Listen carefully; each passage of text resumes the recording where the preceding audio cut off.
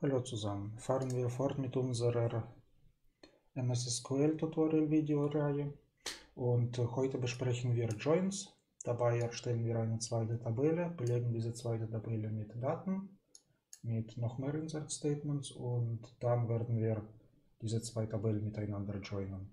Was ihr dafür wissen müsstet, ist, äh, entweder ihr habt euch die vorherigen Videos angesehen oder ihr könnt euch mit Selects, Inserts und Create Table Statements aus.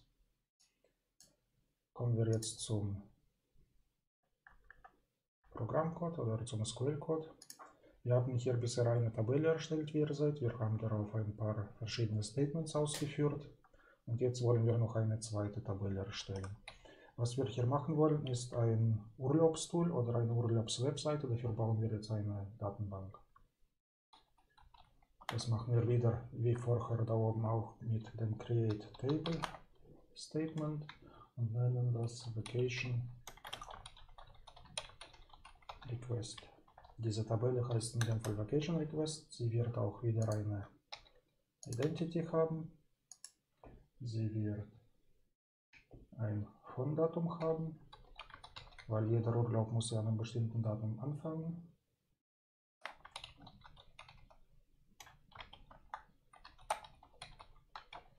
Der darf nicht null sein und dann haben wir ein until date.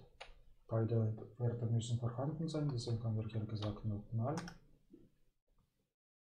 Dann haben wir noch ein Vacation Type. Damit wird man im Grunde angeben, welcher Urlaubstyp ist das denn. Ist es ein bezahlter Urlaub, unbezahlter Urlaub? Ich mache in dem Fall ein Varchar mit, ja, was machen wir denn? 24 Zeichen, sollten denke ich mal ausreichen, auch noch mal. Hier würde dann in dem Fall sowas stehen.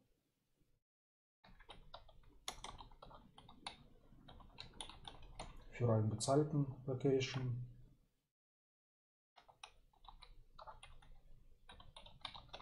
für eine unbezahlte Urlaubszeit. Dadurch, äh, man könnte hier auch, um Platz zu sparen, eine Ganzzahl verwenden oder zum Beispiel einen weiteren Join zu einer weiteren Tabelle, die die ganzen Vacation Types enthält. In dem Fall mache ich es mal so, damit wir nicht noch weitere Tabellen erstellen müssen. Und damit wir auch direkt lesen können, welcher Urlaubstyp das dann ist. Genau. Und dann vielleicht noch ein Datum, wann der Urlaub beantragt wurde.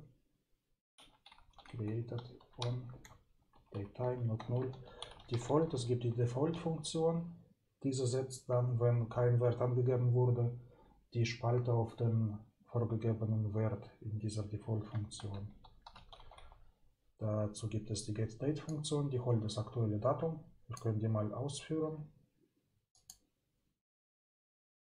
Na glaube, ich muss das in einen Select packen. Machen wir erstmal hier rein.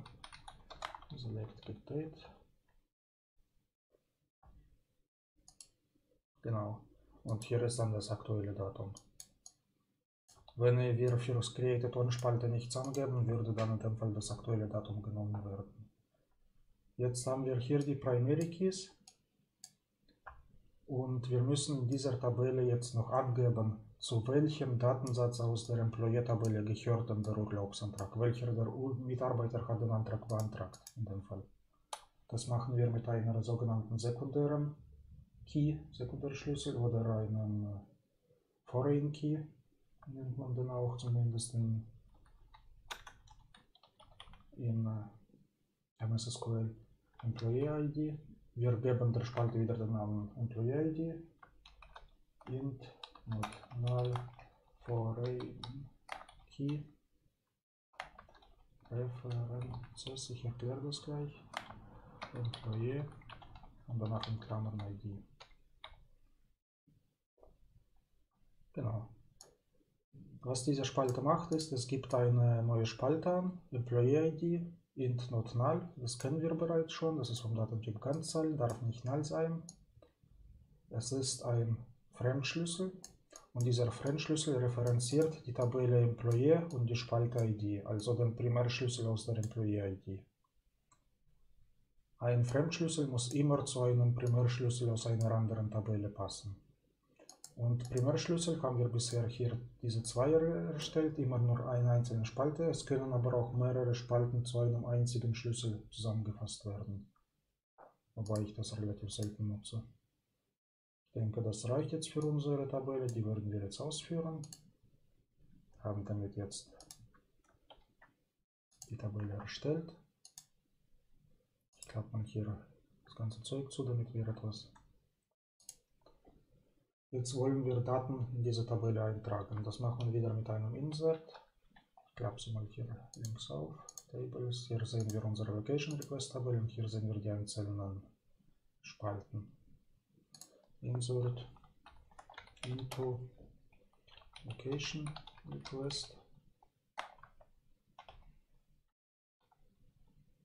Dann geben wir die Spalten an, die wir setzen wollen. Employee ID from date until date location type. Diese wollen wir setzen, die Creator wollen wir nicht setzen, weil darauf haben wir ja hier oben bereits einen Default-Wert gesetzt und die ID wollen wir auch nicht setzen, weil die wird von diesem Identity-Funktion verwaltet. Jetzt geben wir die Values an. Was wollen wir da eintragen? Employee ID. Wir selektieren mal unsere Employees und schauen nach, welche IDs es denn da gibt. Dmitri Patok, ich will für mich jetzt einen Urlaub eintragen mit der ID 2, also sage ich hier Employee ID 2. dann kommt From Date. Ich will einen Urlaub von 2020 minus 01 minus 01 bis 2020 07, sagen wir mal, eine Woche Urlaub. Und dann sage ich, welchen Urlaubstyp ich haben will.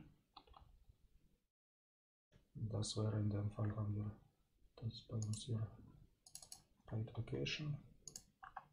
Das wäre ein bezahlter Urlaub.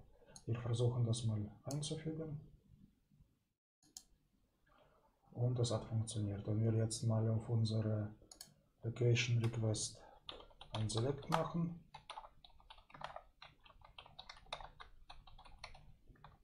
Sehen wir dann auch den Urlaubseintrag. Und wie ihr seht, die ID wurde automatisch gesetzt und die Created On wurde auch automatisch gesetzt. Jetzt will ich mal noch ein paar weitere Urlaube beantragen, weil sagen wir mal, ich will am 04.01. bis 04.07. einen Urlaub haben. Führen wir mal auch aus. Dann schauen wir mal, welche Urlaubs, welche Mitarbeiter wir sonst noch haben. Wir haben diese Sevana Hand mit der ID 3. Die will vielleicht einen Urlaub vom 5. 5. bis 5.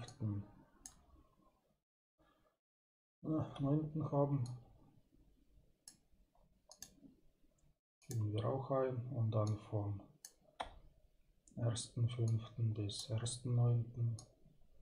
Wir fügen einfach mal ein paar Datensätze da rein, damit wir was, womit wir etwas haben, womit wir arbeiten können. Genau. Wir schauen mal, was jetzt da drin ist. Wir haben vier Urlaubsanträge für Mitarbeiter 2 und Mitarbeiter mit der ID 3, wie wir sehen. Das sind alles bezahlte Urlaube, wurden alle zu diesem Zeitpunkt erstellt und sind hier sind von und bis Daten. Damit haben wir auch eine zweite Tabelle erstellt und jetzt wollen wir diese Tabelle joinen. Wie machen wir das? Wir machen ganz normal ein Select, Stern, From. Dann geben wir die erste Tabelle an die linke Seite an. From Employee. dann sagen, und hier können wir jetzt ein Alias vergeben, weil das macht es uns einfacher SE. Dadurch sage ich im Grunde, diese Tabelle heißt ab jetzt E oder kann mit E angesprochen werden, weil dadurch sparen wir uns jetzt, wie ihr seht, die Schreibarbeit. Dann wollen wir ein Join hinzufügen. Es gibt unterschiedliche Join-Typen. Es gibt zum Beispiel den Left Join. Dann sage ich, welche Tabelle ich dazu joinen will. Also Vacation Request SV, klein v. Jetzt muss ich sagen, welche Spalten sind die Schlüssel, über die ich joinen will. On E. Punkt. Hier muss ich die, den Primärschlüssel wählen, E.id ist gleich v. Und in v in der Location Request war die Sekundärschlüssel-ID, Employee-ID, diese hier. Was wir hier machen ist, wir joinen, weil wir wissen, die ID hier und die ID hier stimmen immer überein. Deswegen verbinden wir alle Datensätze, die diese übereinstimmende ID haben.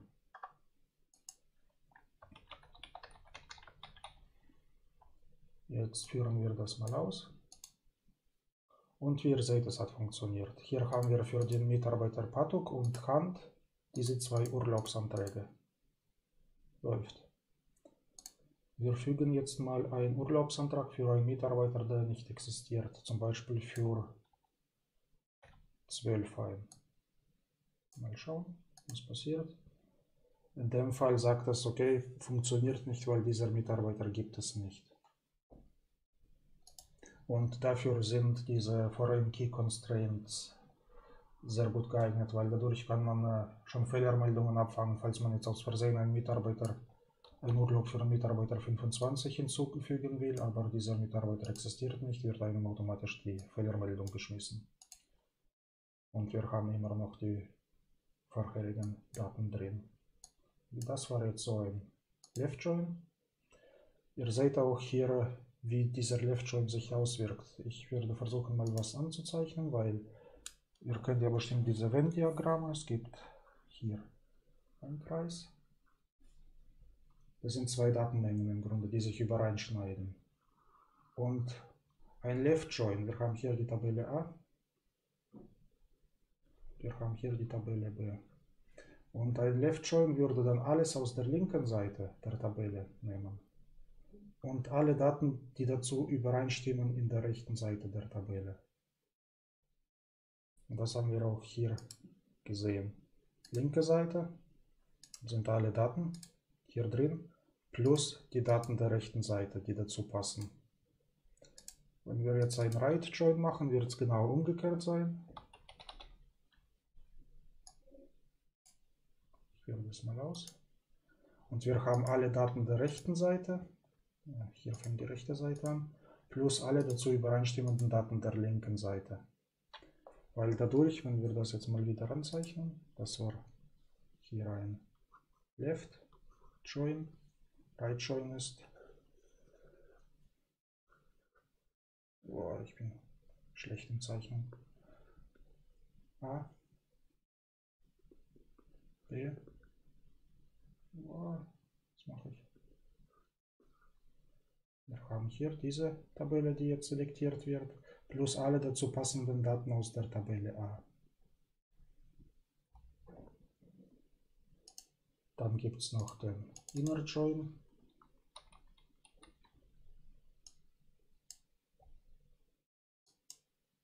Ist dasselbe, in dem Fall dasselbe wie der Right Join. Es selektiert dann immer nur die Daten, die in beiden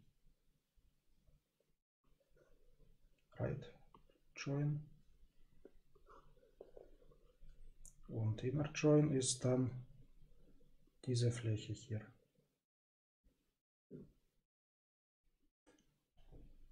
Wenn wir jetzt in der rechten Seite mehr Daten hätten als äh, in der linken Seite, also Daten, die in der rechten Seite nicht zur linken Seite passen, was bei uns aktuell durch einen Constraint verboten wird, hätten wir dann beim Right Join auch Nulls auf der linken Seite gesehen, weil wenn wir uns mal den Left Join anschauen, sehen wir, dass einige Datensätze mit Null gekennzeichnet werden hier.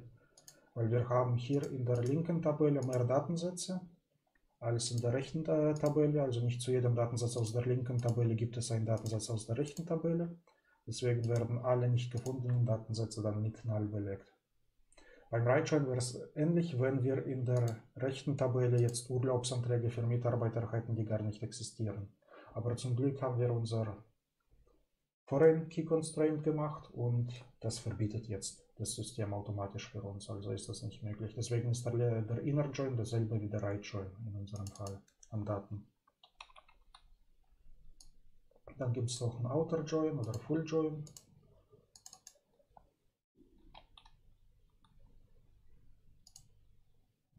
dem Fall nicht, Full, würde dann im Grunde alle Daten anzeigen. Dasselbe wieder Left schon in dem Fall. Aber da muss man sich dann entscheiden, welche Daten man sehen will. Man kann hier auch, wenn wir mal wieder ein Left machen, Where Statements hinzufügen, where e.id, also die, Spalt, die Tabelle Employee mit der Spalte ID gleich 2, weil ich will jetzt einen bestimmten Mitarbeiter selektieren. Das führe ich mal aus. Und ihr seht, damit habe ich nur die Urlaube für den Mitarbeiter mit der ID 2 selektiert. Und so einfach gehen im Grunde Joins. Dann müsst ihr euch nur kurz diese Venn-Diagramme verbildlichen, um dann vorstellen zu können, welche Daten selektiere ich und mit welchem Join. Ja, wir sind jetzt bei 15 Minuten und ich denke, wir belassen uns dabei.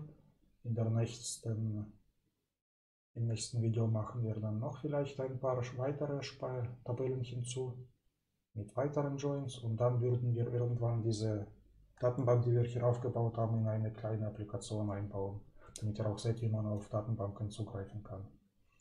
Ja, ich bedanke mich für eure Aufmerksamkeit und hoffe, dass es euch wieder interessant war und bis zum nächsten Mal.